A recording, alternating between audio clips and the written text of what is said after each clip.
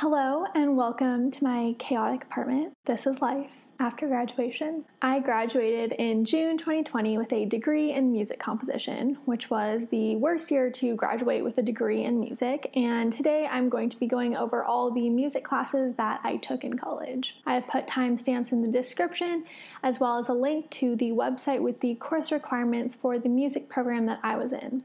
In my first quarter, I was in an ensemble where I played flute and piccolo. Piccolo is basically the hazing of flute playing in college. The least experienced flute players oftentimes get the piccolo parts, which are the last parts you want when you are new because piccolos are louder than any instrument, so everyone can hear you and judge you at your weakest point. Piccolos also sound like death, which is why you're actually supposed to wear earplugs when you practice. I also took music theory and aural skills my freshman year. There is plenty of commentary about these notorious music major classes already. God, I hate music theory. I hate aural skills. I suck at theory. I'm so bad at aural skills. I hate theory. Suck at aural skill. Hate hate theory, suck at skill, hate the suck. I also took keyboard skills, which was really fun. We learned to sight read full orchestral scores. Well, I should rephrase, attempted to sight read full orchestral scores, and everyone got an A. During my first quarter, I also took a class called Composition Colloquium, which I was required to take for all four years. We met once a week and listened to guest musicians talk about their careers. One of my favorites was Jeff Beal. He was the composer on House of Cards and Rome. A fun fact about Jeff Beal is that he uses Logic Pro to compose. Another four year long class I took was weekly composition lessons. These are just like weekly music lessons for any instrument. You spend a week composing music, bring whatever you composed to your lesson, and your professor gives you feedback. Sometimes the feedback is compositional feedback, other times it's feedback on orchestration or notation or all of the above. Speaking of composition lessons, I teach composition lessons, so if you are interested, send me an email and check out my website for more information. I think one of my favorite pieces that I composed during my first year was a trio for flute, cello, and piano.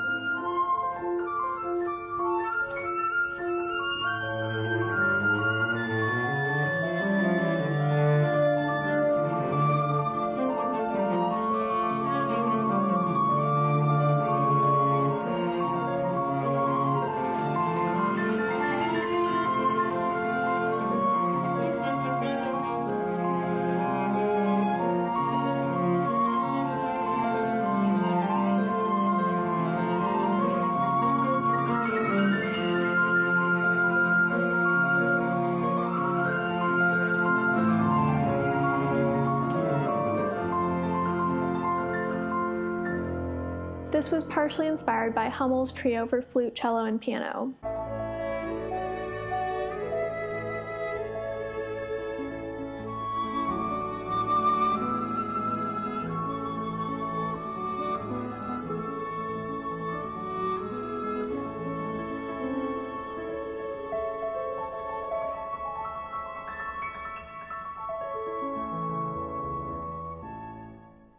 Also, while I am on the topic of music I wrote, I am going to make another less subtle plug.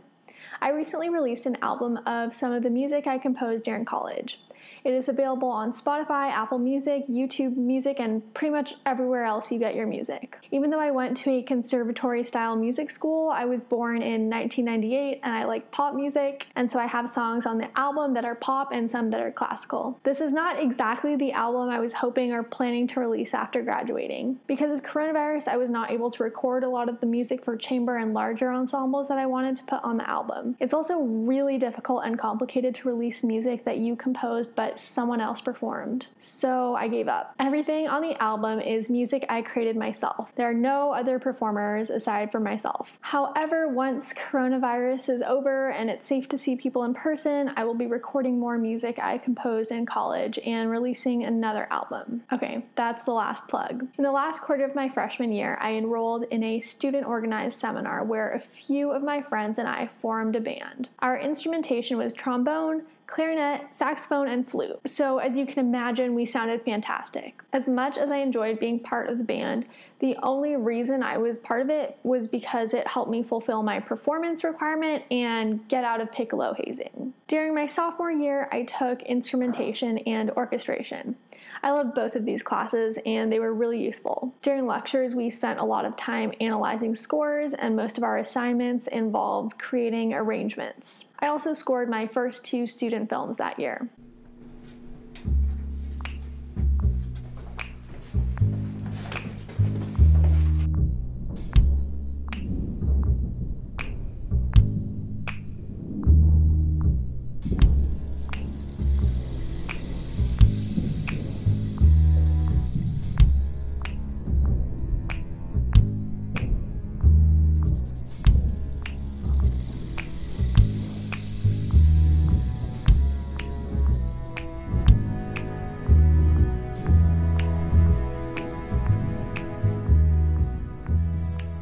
My sophomore year, I also took a class on 20th century opera. I'm not really a 20th century person or an opera person, but it fulfilled one of my requirements. I also took an Alexander Technique class solely because I had heard it was an easy A and I wanted to boost my overall GPA, even though it didn't count towards any requirements. And it was an easy A. During my junior year, I took a class called World Music Cultures, which was not as problematic as it sounds, though this 10 week class was pretty much the only music class I was required to take that focused on music not written by white men between 1600 and 2000. During my junior year, I also took a class called Foundations of Music Tech, where my final was a group project where each group created an album of music using Ableton. I also took a class called String Quartet Dialogues, where we analyzed string quartets. This class was really enjoyable and I felt like I learned a lot. It was really useful for me because I was working on a piece for string quartet, piano, and vibraphone around the same time.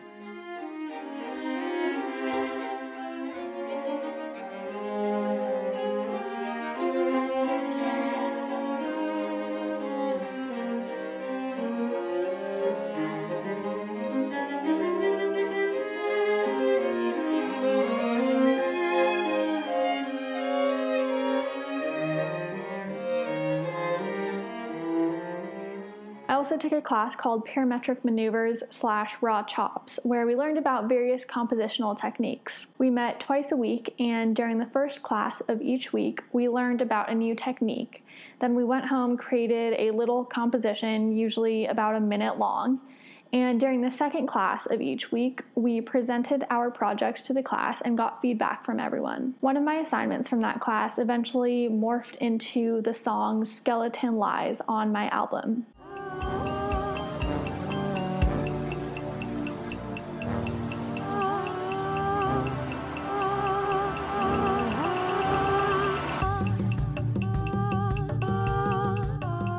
Also took a class called Music and Religion 1500 to 2000. One of my final assignments in that class was to prepare a five minute PowerPoint presentation on a song related to religion.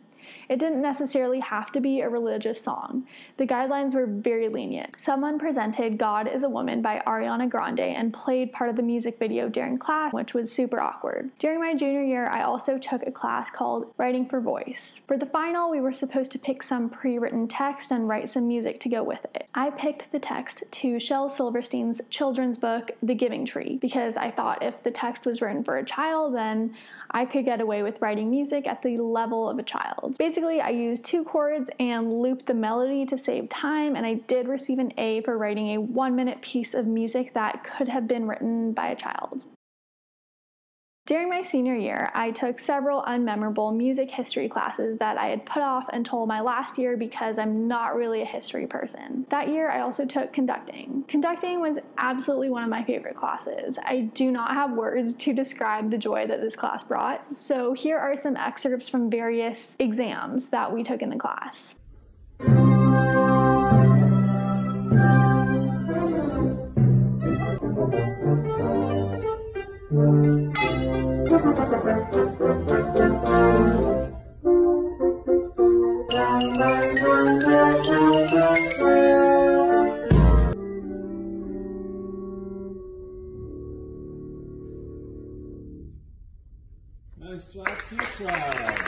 I also took 16th century counterpoint and learned how to write music in a 16th century style.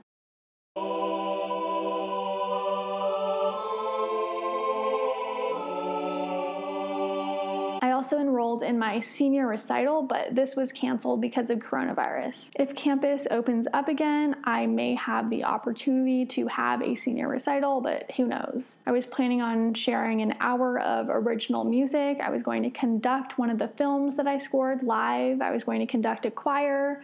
There was going to be chamber music and food and friends and family. But here we are. Right before everything closed in February, I did get a chance to record the film that I was planning to conduct live at my recital, so I'm going to insert some clips from that here.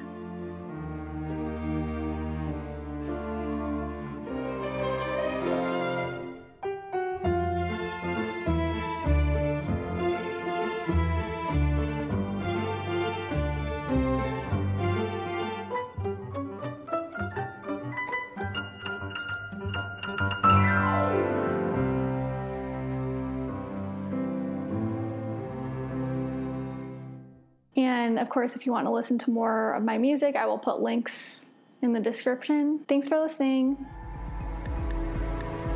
Why does the spiral still spin? Circling so.